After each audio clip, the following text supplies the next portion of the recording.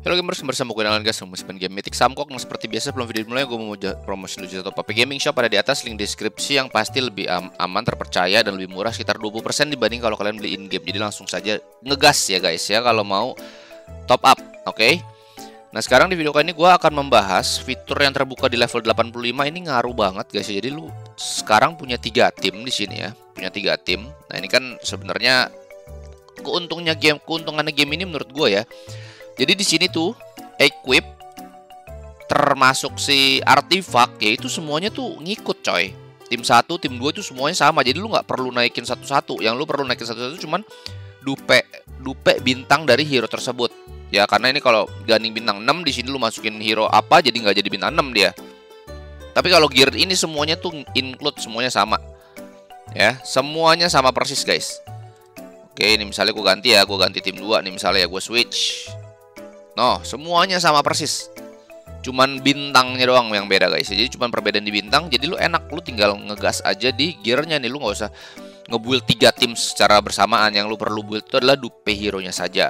Seperti itu. Oke, nah keuntungannya apa aja bang? Keuntungannya itu yang pertama, yang gua greget banget ya menurut gua tuh di CS Territory War menurut gua di sini nih. Jadi lu bisa tiga tim yang nambang sekarang. Seperti itu, oke? Nah, kedua apa? Kedua itu lu bisa uh, nyalain fitur guidance ini nih. Di sini jadi lu sudah bisa tiga tim. Nah ini juga sudah dikasih tahu sama dia ini mentok ya. Ini mentok tiga tim doang guys. Lu nggak bisa empat tim. Lu mau level nanti lu tinggi kayak gue nggak tahu nanti kalau misalnya di update patch atau gimana ya jadi empat atau apa. Tapi kalau sekarang sudah maksimalnya di tiga. Tiga tim sudah maksimal.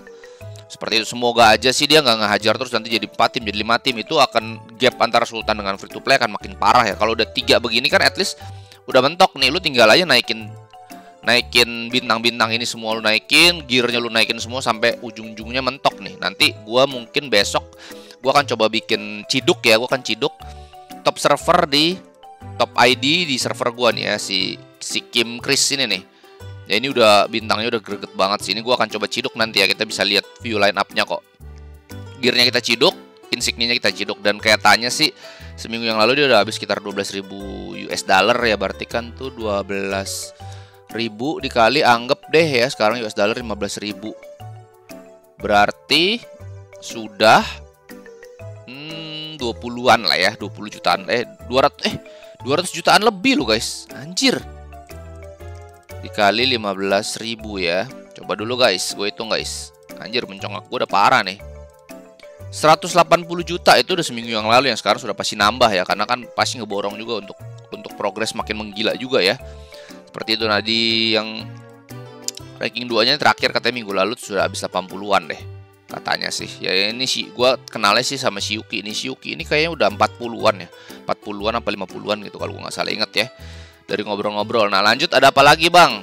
Nah di sini itu lu akan makin gampang naikin CP-nya yang pertama. Lalu di sini ada yang namanya dungeon yang tadi cuma story mode doang, sekarang ada yang namanya campaign di sini guys ya. Campaign ini buat apa bang? Nah ini untuk ngumpulin War sama Spring ini guys ya, Spring Anal sama War Strategis. Kalian bisa kumpulin nanti di sini. Walaupun memang ini satu dua tiga, jadi cuma dapat tiga sama tiga ya di sini ya. Jadi nggak terlalu banyak dan di sini juga ada jatahnya nih ada remaining daily first clearance. Jadi cuma 10 kali doang per day. Jadi wajib kalian gaskui ya. Ngebukanya juga di level 85 tentunya karena di sini kalian sudah perlu tiga tim. Nah, tiga timnya itu lu wajib bintang tiga semua tuh. Ya, wajib bintang tiga semua untuk ini.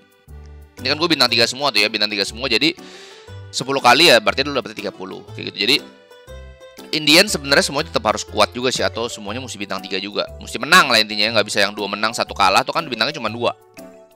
Seperti itu guys, oke. Okay?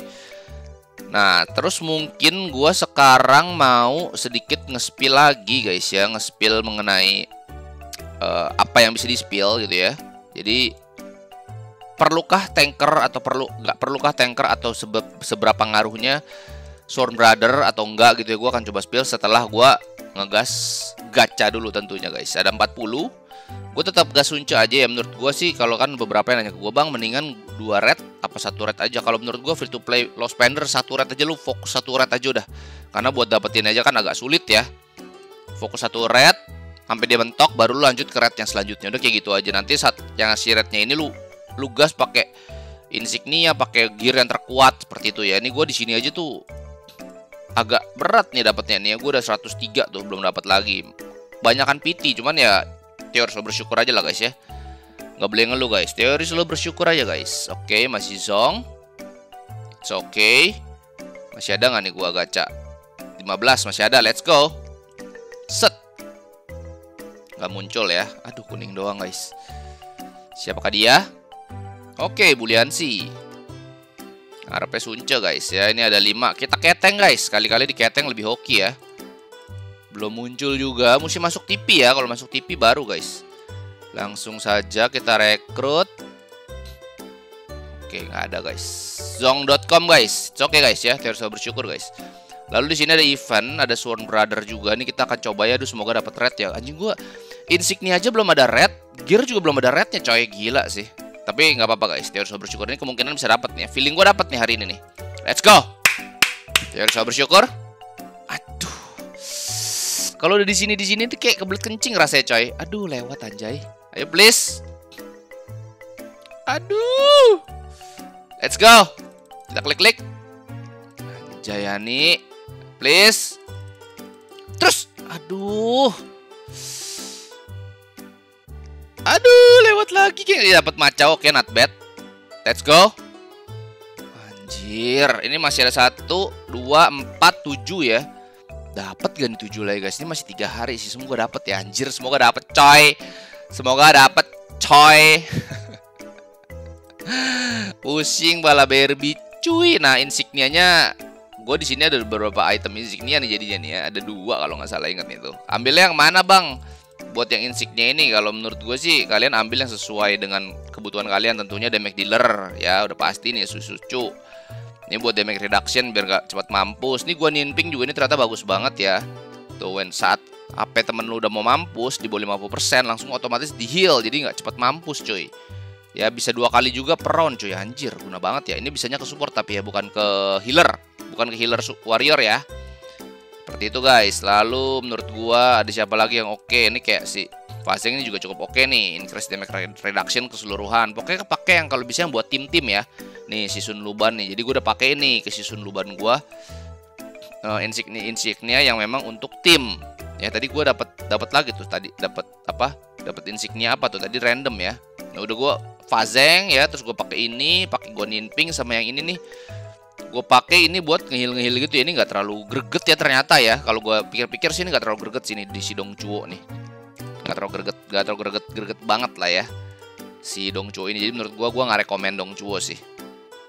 Nah ini gue tadi dapat insignia apa sih tadi? Dapat macau. HP di 50% nah ini untuk tank ya restore HP tuh. Oke. Bisa proc satu time in each round. Oke let's go. Kita pakein aja guys. Tanpa berlama-lama guys ya Oke, ini ada guidance lagi, udah dapet insignianya lagi, kita gaskui lagi guys. Apakah ada lagi karir? Udah ya, nggak ada apa-apa lagi event. Universal guidance set. Nah, 935. Untuk ke sini, gua nggak yakin bisa nih dua hari lagi soal.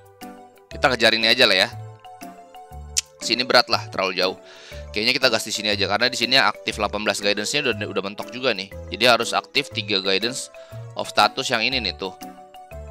3 guidance of status yang start level apa yang insignia sini? Ini nambahnya cepet nih banyak nih anjir nih. 3 guidance ini kah? Oh ini nih, ini nih guys, lu mesti sampai di sini nih. Ini gue masih 82 anjir, masih jauh coy. Jauh coy. Ya udahlah ya nggak apa-apa guys. Teori soal bersyukur. Nah sekarang gue akan nge-spill sedikit ya, nge-spill sedikit mengenai hero-hero hmm, yang tank itu tetap diperluin sih Indian ya, tetap diperluin. Cuman menurut gua kalian tetap harus ngegas tuh yang ininya dulu guys, damage dealernya dulu nih kalian taruh di posisi satu soalnya kan dia buat cepat bunuh musuh kan ya. Nah ini teman gue punya nih si Naon anak Discord juga ya dia juga sepuh dari CBT dulu. Ini dia sekarang main Shu ya di sini tuh dia udah mentokin sih dia punya pokoknya semua resource yang ada dia masukin ke satu hero nih si Zhou Yu nya nih Zhou Yu nya dia nih jebret ya terus dia kasih begini-beginian nih nah ini ada Sworn Brother yang notabene jadi dia taruh di di, di line up di ranking di, di, di depan pun gak ada masalah tapi kan memang lu perlu taruh di depan untuk cepat bunuh musuh ya untuk bunuh musuh cuy kalau lu taruh di kedua ketiga itu tuh kadang nyusahin coy nih. Dia, dia bikinnya kayak gini nih. Soyun di depan, lalu Zisun Luban ini support. Setahu gue ini untuk ngasih invisible deh. Jadi begitu Soyunnya digebuk nih nggak langsung mati di invisible gitu sama dia ya. Invisible shield tuh dari mana bang? Itu dari Tiger artefak. Seperti itu. Pokoknya gue udah bikinin playlistnya kalian bisa searching searching aja ya. Gue udah bahas juga kok mengenai artefak atau treasure ya. Namanya treasure guys. Artefak atau treasure di sini nih. Lokasi di sini jadi dia ngasih invisible gitu ya ini juga ada ada support juga nih juga bisa kasih invisible terus kasih insignianya juga yang uh, buat support kayak tadi tuh yang gue bilang tuh ya yang nambahin damage reduction ke seluruh tim nambahin attack ke seluruh tim yang kayak gitu-gitu guys Oke deh mungkin segitu aja di video kali ini guys ya Semoga bermanfaat, semoga informatif Jangan lupa besar like, komen, nyalain juga lonceng notifikasinya Supaya kalian info-info menarik seputar game ini Terus dari gue Besok kita akan ciduk menciduk uh, sultan-sultan di di server gua ya. Jadi stay tune terus aja kita lihat sejauh mana nih ya pertarungan antar sultan di server gua guys. Oke deh segitu dulu aja guys. Thank you for watching and share next video. Bye bye. Ciao.